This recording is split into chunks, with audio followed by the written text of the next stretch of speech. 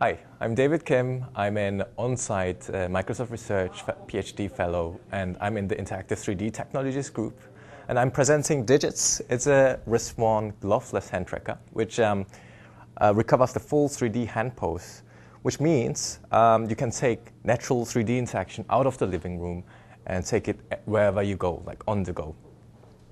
So um, the main components of this uh, device are an off-the-shelf camera, an infrared laser, some diffusing illumination, and an inertial measurement unit, which gives you um, the cause hand motion.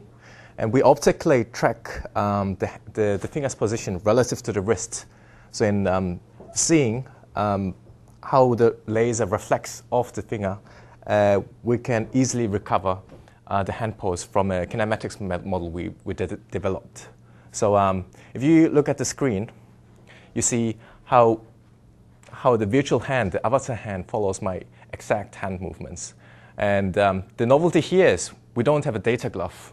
Your hands are free to interact with everyday objects. You can like drink a coffee and read a book, but then spontaneously interact with your mobile phone, which is in your pocket, just by using hand gestures.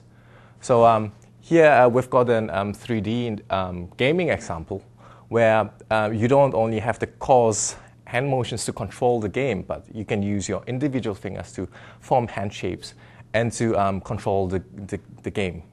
So here I use a, a, fist gesture to navigate around this uh, 3D virtual environment.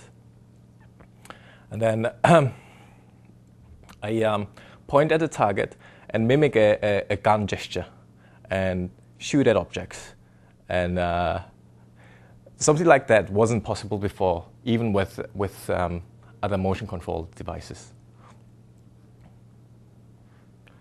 So I can shoot at objects, uh, go closer, I can grab objects, and do all kinds of gestures without even covering the hand, hand itself. Uh, because we, we use uh, optical methods, so we use a video camera and some infrared illumination to ca capture the hand pose. So um, uh, we're also investigating ways to like um, leverage natural hand gestures, for example, for uh, sign languages. So people don't have to use like um, a keyboard to communicate with other people, but um, people with um, hearing impairments uh, can use their natural hand gestures to communicate. And um, other examples include like augmented reality applications where you have like special glasses or projections onto the environment and you use your natural hand motions and um, your, your natural body motions to control uh, the environment. So, and, and, the unique thing about this is it doesn't require any external trackers. We don't have any Kinect or any external infrastructure here. It's a, a completely wrist-worn device. So that means uh, it goes anywhere. 3D interaction goes anywhere. And uh, our goal is to make computing, personal computing and natural interaction an integral part of your personal life, wherever and anywhere you are.